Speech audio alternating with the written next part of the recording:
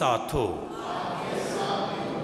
हमारे लिए आज की खुशबरी मुकदस मत्ती के मुताबिक।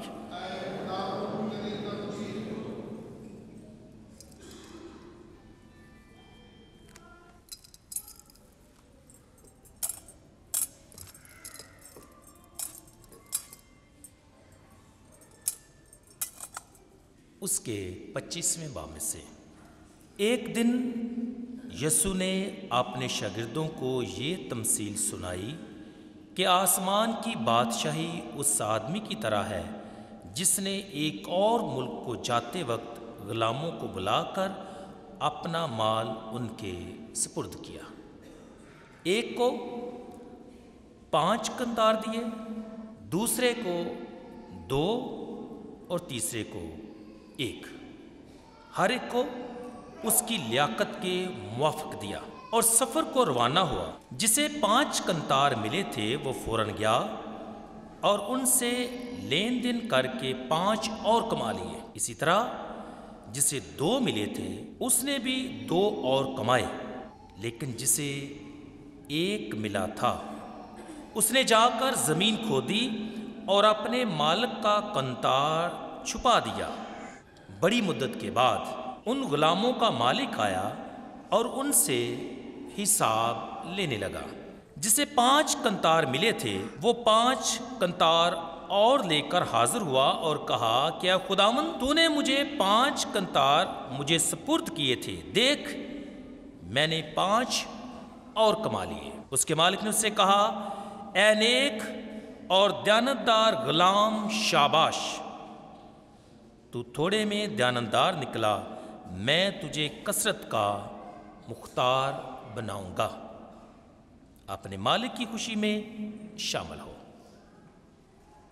और जिसे दो कंतार मिले थे, उसने भी हाजिर होकर कहा क्या खुदामन तूने दो कंतार मुझे स्पुर्द किए थे। देख, मैंने दो कंतार और कमा लिए। उसके मालिक ने उससे कहा अनेक और दयानतदार खादम शाबाश। तू थोड़े में दयानतदार निकला, मैं तुझे कसरत का मुख्तार बनाऊँगा। अपने मालिक की खुशी में शामिल हो। तब वो भी, जिसे एक कंतार मिला था, हाजिर हुआ और कहने लगा कि ऐका मैं तुझे जानता हूँ कि तू सख्त आदमी है, जो जहाँ नहीं बोया, वहाँ से काटता और जहाँ नहीं बिखेरा, वहाँ से जमा करता है। बस मैंने डरते हुए जाकर तेरा कंतार ज़मीन में छुपाया। देख, जो तेरा है, वो मौजूद है। उसके मालिक ने जवाब में से कहा, ऐ शरीर और सुस्त गुलाम, तू जानता था कि मैंने जहाँ नहीं बोया, वहाँ से काटता और जहाँ नहीं बिखेरा, वहाँ से जमा करता हूँ। बस चाहिए था कि तू मेरा रुपया साहूकारों को देता तो मैं आकर जो मेरा है सूद समेत ले लेता।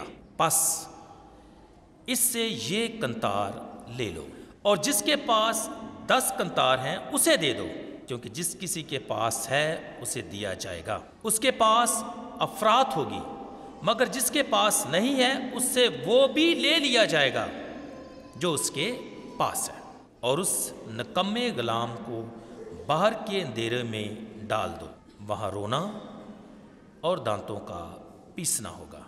अंजिले पाक के वसीले से हमारी खताएँ मुआफ़ की जाएँ। तू थोड़े में दयानंदार निकला, आ और अपने मालिक की खुशी में शामिल हो। मसीह खुदामंद में मेरे जिजो साल के दौरान आज तैंतीसवां इतवार है। Thirty third Sunday of the year और लतूरी साल के अख्ताम की जानब बढ़ते हुए पाक तलावतें हमारी मदद और रहनमाई करती हैं कि मसीह के साथ वफादार रहना, अपने मालिक खुदावन के मुंतजर रहना और जो खुदावन ने हमें सौंपा है या हमारी सपुर्दगी में दिया है, उसका अच्छे तरीके से इस्तेमाल करना, या अपनी सलाहितों को बुरुकार लाना। अजीज़ो, आज जब हम पहली तलावत पर गौर खोज करते हैं तो आज की पहली तलावत में हम देखते हैं कि अच्छी बीवी की तारीफ़ की गई है। और उसकी तारीफ़ की वजह क्या है? क्योंकि वो वफादार है। तारीफ़ की वजह क्या है? क्योंकि उसने अपनी सलाहितों को, अपने ख़ानदान और घराने के फ़ायदे, बेहतरी और खुशहाली के लिए सर्फ किया। अक्लमंद, दानिशमंद, अच्छी बीवी। अगर बीवी अच्छी है तो घराना भी अच्छा है। क्योंकि उसने वफादारी से जो ज़िम्मेदारी उसे खुदावन की तरफ़ से सौंपी गई, उसने उसको वफादारी के साथ क्या किया? पूरा किया। और जितने भी लोग शादीशुदा आज खुदावन के घर में बैठे हैं और जितने भी मेरा कलाम जो है ऑनलाइन सुन रहे हैं आ, मैं आप सबको बहसूस जहाँ हस्बैंड्स बैठे हैं उनको आज कहना चाहता हूँ कि आप अपने लाइफ पार्टनर अपनी बीवी की तारीफ़ करें क्योंकि यकीनी तौर पर उन्होंने आपके घर को संभाला भी आपके बच्चों को भी संभाला और उन्होंने आपकी बड़ी खिदमत की और बच्चों की बेहतर तौर पर तरबियत की। तो यकीनी तौर पर आप आज खुदावन की पाक हजूरी में अपने ख़ानदानों के लिए और बेलसूस अपने लाइफ पार्टनर के लिए खुदा की हजूरी में खुश होंगे। और यकीनी तौर पर ऐसा है। जिस तरह के आज पहली तलावत में अच्छी बीवी की तारीफ़ की गई है और जिनको खुदा ने अच्छे वफादार लाइफ पार्टनर दिए हैं, हम उनके लिए खुदा के शुक्रगुजार हैं। और उन तमाम जो बीवियाँ हैं, उनके लिए भी हम खुदा के शुक्रगुजार हैं। और उनकी जो कंट्रीब्यूशन है ख़ानदान में, उनके लिए हम खुदा के शुक्र बजा लाते हैं। जिसो आज की जो दूसरी तलावत है, इसमें नूर के फरजंद होने की सीज से जागने और होशियार रहने की ताकीद की गई है। और ये थीम जो है, मौजू जो है, ये मुसलसल हमारी तलावतों का हिस्सा रहा है। जागना, होशियार रहना, दुआ करना, मालिक का इंतज़ार करना।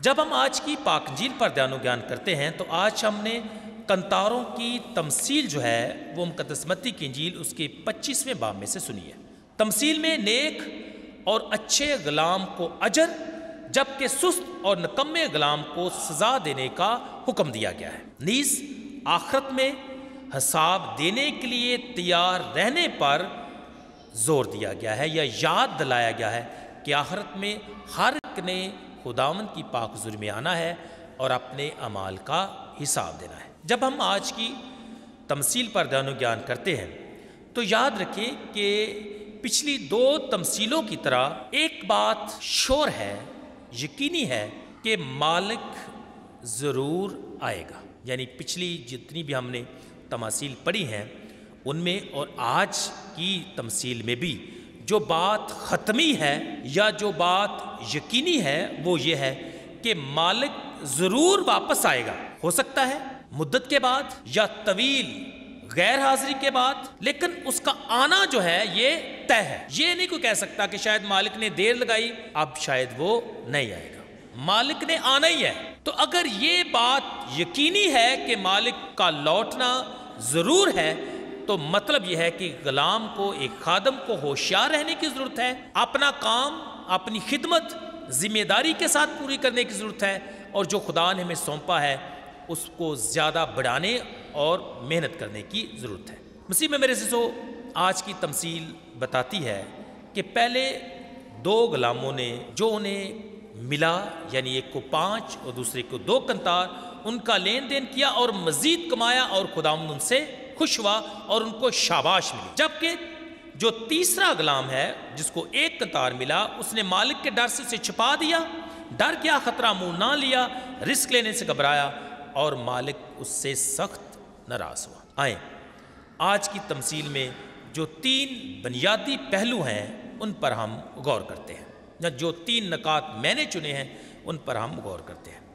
पहला नुक्ता है, खुदा हर इंसान को तहाइफ फ़जाइल या सलाहितों से नवाजता है। दुनिया में कोई भी ऐसा शख्स नहीं जो ये कहे कि मुझमें कोई सलाहियत हर एक शख्स में, छोटा, बड़ा, अमीर, गरीब, कोई भी हो, हर एक को खुदा ने काबिलियत दी है, या किसी ना किसी सलाहियत से क्या किया है, नवाजा है, बख्श दिया है।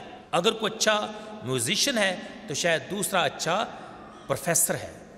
अगर कोई एक अच्छा प्रोफेसर है तो यकीनी तौर पर दूसरा अच्छा शायद जो है, वो बिजनेसमैन है। अगर एक मेडिकल में अच्छा है तो शायद दूसरा जो है, वो कंप्यूटर साइंसेस में अच्छा है। तो किसी ना किसी तरह से खुदा ने हमें कोई काबिलियत दी है। अब उसको पहचानना और उसको निखारना जो है, ये हमारे पास में है कि हम इसको निखारने में कितनी मेहनत करते हैं या कितने संजीदा हैं। And there are some people कि उनको खुदा ने जो काबिलियत दी, उनको उन्होंने निखारा और आज वो बड़े कामयाब जो हैं, लोग हैं। लेकिन बात है रियलाइजेशन की रियलाइज़ करना। कि हाँ ये मुझमें काबिलियत है। या कई दफ़ा हमारे उस्ताद जो हैं या हमारे जो मेंटर्स होते हैं, वो हमें बताते हैं कि आप इसमें अच्छे हो। आप अच्छा गा सकते हो अच्छा पका सकते हो अच्छा संभाल सकते हो अच्छा कारोबार कर सकते हो, या कोई भी काम हमें बता सकते हैं। तो फिर हमें उस काम को आगे बढ़ाना है। तो पहली बात मैंने कही कि खुदावन हम में से हर शख्स को किसी न किसी तोहफे से नवाजता है। और ये बड़ी बात है। आज की तमसील में हमने देखा कि मालिक गुलामों को बुलाकर या खादमों को बुलाकर अपना माल उनके स्पुर्द करता है। दिस इज़ वेरी अनयूजल कैसे मुमकिन है? और पाँच कंतार दो कंतार या एक कंतार ये बड़ी कदरों कीमत रखते थे उस वक्त। ये बड़ी रकम थी। और देखे मालिक जो है, वो खादमों को या गुलामों को इतना कुछ सौंप देता है।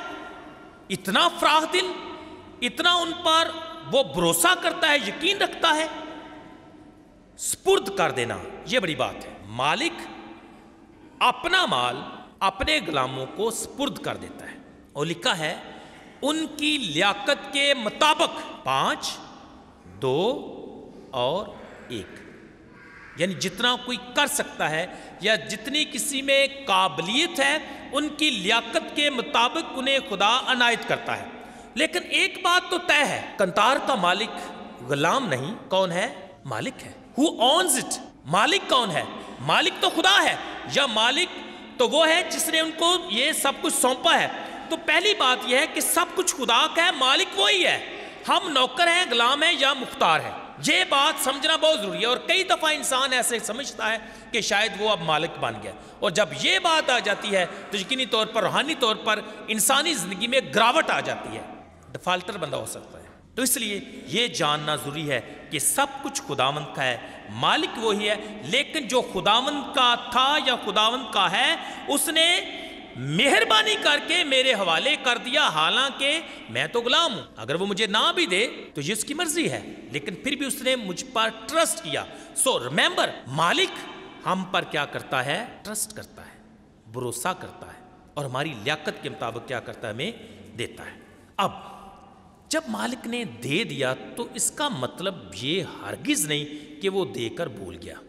वैसे दूसरे कंटेक्स में जब खुदा देता है तो वो कब याद कराता है, लेकिन मैं इस तमसील के कॉन्टेक्स्ट में बताना चाहता हूँ। जब मालिक ये हमें सब कुछ अता करता है तो वो फिर क्या करता है? हिसाब भी लेता है और ये हमारा दूसरा नुकता है। तोहफे मिले, पहला नुकता। हिसाब देना, दूसरा नुकता है। जवाबदही अकाउंटेबिलिटी और लिखा है कि बड़ी मुद्दत के बाद उनका मालिक आया और उनसे क्या करने लगा?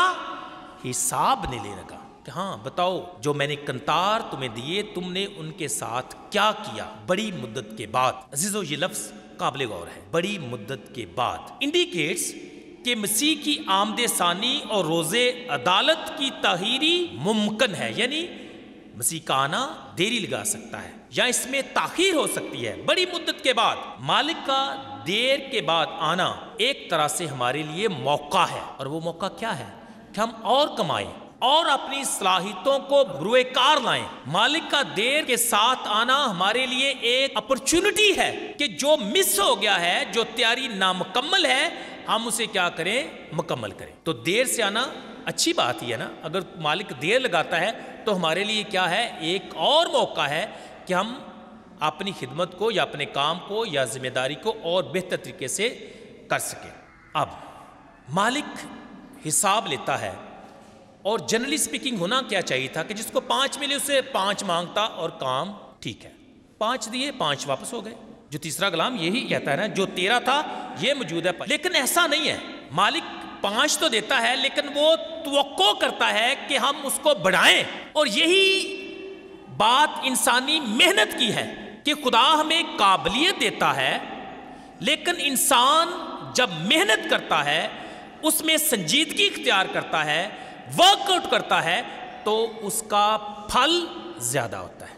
और खुदामंद भी यही चाहता है, पाँच के साथ पाँच और, दो के साथ दो और, या एक के साथ एक और।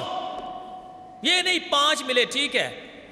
देखो कुछ लेट से एक बात, अगर कुछ सिंगर है तो अगर वो उसको खुदा ने काबिलियत दी है, गाने की तो अच्छा गाएगा। अगर वो रियाज नहीं करेगा, रिहर्सल नहीं करेगा वर्कआउट नहीं करेगा तो फिर क्या होगा? गला बह जाएगा सही तरीके से गाएगा नहीं। So it means you have to work you have to put your own contribution खुदा ने तो दे दिया, वो तो फ्रा दिल है। अब मेरा हिस्सा उसमें क्या है?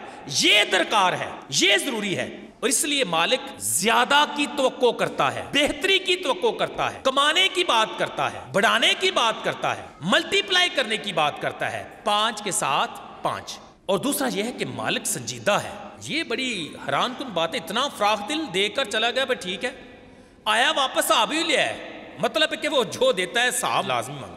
अकाउंटेबिलिटी तो इसलिए ज़रूरी है कि हम अपने ज़िंदगी में इस बात को मद्देनजर रखें कि we are given then we are also accountable और जो भी खिदमत है, जो भी ज़िम्मेदारी है खानदानी तौर पर कलीसी तौर पर, या कारोबारी लिहाज से जो भी ज़िम्मेदारी है यू आर अकाउंटेबल और we are accountable before each other and before God ये हो नहीं सकता कि हम अकाउंटेबल ना हो। जवाब दे तो हैं, हिसाब तो देना पड़ेगा। तो अगर देना है तो फिर हिसाब तैयार करके रखो। ये तो पक्की बात है कि हिसाब लेने वाला हिसाब लेगा। आना है उसने। अब हमारी ज़िम्मेदारी है, क्योंकि हम उसके खादम हैं, गुलाम हैं, हम अपना हिसाब किताब दुरुस्त रखें। अब जब वो हिसाब लेता है, और तीसरा नुकता यह है कि फिर वो क्या करता है? इंसाफ भी करता है। रोज़े अदालत, यानी जजमेंट डे भी है। और जजमेंट क्या है? कि जिसने अच्छा काम किया जिसने पाँच के साथ पाँच और मलाए, जिसने दो के साथ दो और मलाए, उनको वफादार गुलाम कहा गया है, अच्छे गुलाम, नेक गुलाम कहा गया है। और खुदाउन कहता है ए नेक और ध्यानदार गुलाम। बदयांती तो तीसरे ने भी नहीं की, उसने एक का एक लटा दिया। लेकिन खुदाउन मैंने कहा, ज़्यादा की तो करता है। तो इसलिए जिसने कमाया, बढ़ाया खुदाउंद से क्या कहते हैं? नेक और ध्यानदार गुलाम, शाबाश, अपने मालिक की खुशी में शामिल हो। ये किसको कहा? खुदाम ने पाँच वाले को। और हैरान कन बात यह है कि जिसने दो से दो कमाए, चार किए, उसको भी खुदाम यही कहता है। सो वट डस मीन मतलब ये हुआ कि कंतारों की जो तादाद है, वो अहम नहीं है, वो ज़रूरी नहीं है। बात क्या है? वफादारी की। बात क्या है? काम करने की, मेहनत करने की, बढ़ाने की। हालाँकि जो पाँच वाला है, उसकी ज़्यादा तारीफ़ होनी चाहिए थी। दो वाले की थोड़ी कम होनी चाहिए थी, लेकिन दोनों ने किया। और खुदाम ने दोनों को ही सेम अल्फाज के साथ शाबाश दी। उनको नेक कहा, उनको दयानंदार कहा और उनको शाबाश दी। अजीजो, जबकि योम हिसाब के वक्त जब खुदाम उनसे हिसाब लेने लगा तो नकम्मे और सुस्त गुलाम को यह हुक्म मिला कि इसे बाहर के अंधेरे में डाल दो, वहाँ रोना और दांतों का पीसना या बजना होगा। हैरान कुन बात है कि ये तीसरा खादम जो है, अपने मालिक के बारे में बड़ा नेगेटिव रवैया रखता है। वो ये कहता है कि मुझे पता था कि तू सख्त आदमी है। हालाँकि मालिक सख्त तो नहीं है। मालिक ने तो इतना पैसा दे दिया, इतनी फ्राह दिली दिखाई, इतना भरोसा किया, लेकिन ये खादम जो है, कहता कि मेरा मालिक सख्त है। भाई सख्त कितना इतना पैसा दे के गया दिन। खुदा ने या मालिक ने तो बड़ा भरोसा किया। लेकिन सख्त वो इसलिए उसे कहता है क्योंकि वो क्या करता है? हिसाब लेता है। और तो आपको पता है, जो हिसाब को मंगे ना तो फिर बंद लड़ाई भी हो जाती है। हूँ असं हिसाब भी दईए घर ही लगे ने ना, की हो गई है? ऐसे ही ना, जब कोई हिसाब मांगे या जब कोई हिसाब की बात करे तो कई दफ़ा फिर गुस्सा भी लगता है कि हूँ साढ़े को हिसाब मांगते हो ठीक है, आए, लग गए। ख़त्म। शॉपिंग की है, बस गए थे, बाहर लग गए नहीं कितने मैंने इतने आपको पैसे दिए थे, आप बाहर गए थे। तो कुछ बचा भी है कि नहीं?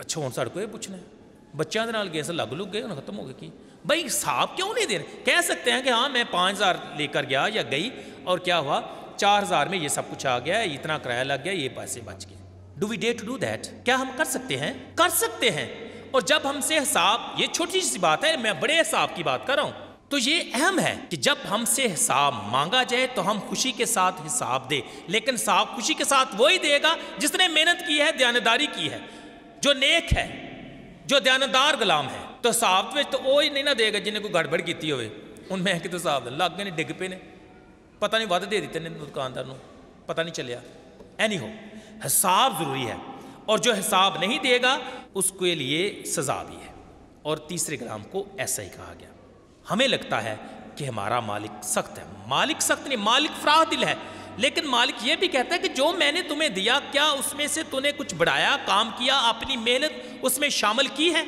जो हमारा फ्रांसिस्कन स्पिरिचुअलिटी है, उसमें द ग्रेस ऑफ़ वर्किंग की बात की गई है। काम का फजल, काम करना एक फजल है, मेहनत करना एक अच्छी बात है।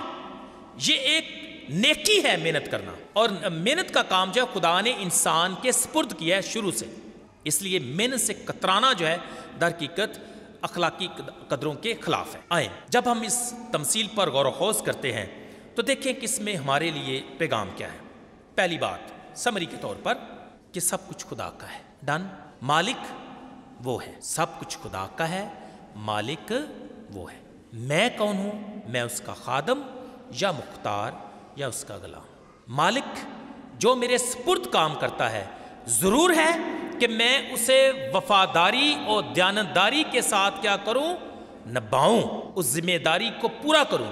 और ज़िंदगी में हमारे पास बेशुमार जिम्मेदारियाँ हैं जो खुदा ने हमें दी हैं। औलाद की ज़िम्मेदारी, कारोबार की ज़िम्मेदारी कलीसिया की तरफ़ से ज़िम्मेदारी बेशुमार हैं। अब हमने क्या करना है? जो ज़िम्मेदारी हमें दी गई है, क्या करें? उसको वफादारी के साथ पूरा करें। याद रखें हमारा खुदावन सख्त नहीं है, वो हम पर भरोसा करता है। देखे ना, पूरी मुद्दत के लिए चला जाता है, सब कुछ छट छिड़ा के। अब खुदावन हम हम सबको क्या है, छोड़कर गया हुआ है, बड़ी मुद्दत के लिए। लेकिन ये मैंने शुरू में कहा था, आना उसने है, पर आने से पहले साफ्ताब जो है, वो सही होना चाहिए। इसलिए अगर खुदावंद हम पर भरोसा रखता है या भरोसा करता है तो ज़रूर है कि हम उसके भरोसे मंद खादम बने। भरोसा तोड़े ना, भरोसा टूट गया तो सब कुछ टूटम तो पता ही है, भरोसा नहीं तोड़ना चाहिए। और जब कोई भरोसा तोड़ता है ओ हो हो हो बड़ा मुश्किल होता है। यू कांट इमेजिन कि मैंने इतना भरोसा किया। ये हुआ, ये इसका ये नतीजा है। और खुदावंद भी यकीनी तौर पर यही कहता होगा, मैंने इतना भरोसा किया और तूने कुछ नहीं किया। अजीज़ो, खुदा ने हमें बहुत कुछ दिया है। खुदा ने हमें बेशुमार सलाहितों से नवाजा है। आए, उनका अच्छा इस्तेमाल करें और उसमें अपनी मेहनत शामिल करके और बेहतर करें। इतमाद के साथ मेहनत करें। डरने की ज़रूरत नहीं है। रिस्क लेने की ज़रूरत है। रिस्क लेने से ना डरें। कई दफ़ा हम डरदे डरदे कुछ अगे बढ़ते ही नहीं। कदम अगे चुकते ही नहीं। भाई, रिस्क लें, कोई बात नहीं। छलांग लगाएँ, कोई बात नहीं। खुदा साहब अच्छा ही करेगा। दूसरा यह है, आखिरी बात के साथ कि बी रेडी फॉर अकाउंटेबिलिटी चाहे वो ख़ानदान हो, चाहे आपका ऑफ़िस हो चाहे आपका चर्च हो, चाहे आपका घराना हो, जहाँ भी हो, चाहे खुदा के सामने अकाउंटेबिलिटी के लिए रेडी रहे। कोई अकाउंटेबिलिटी की बात करता है हिसाब की बात करता है and don't be afraid just give it and you will be blessed और ब्लेस्ड क्या है? खुदा से नेक कहता है। नेक कहना बड़ी बात है। नेक ध्यानदार और खुदा उनसे शाबाश देता है। सवाल यह है कि जब खुदावन के सामने मैं हाजिर हूँगा या जब मेरा खुदावन आएगा तो वो मुझे किन अल्फाज से पुकारेगा? That we have to see our sales क्या वो ये कहेगा कि शाबाश, नेक और ध्यानदार गुलाम?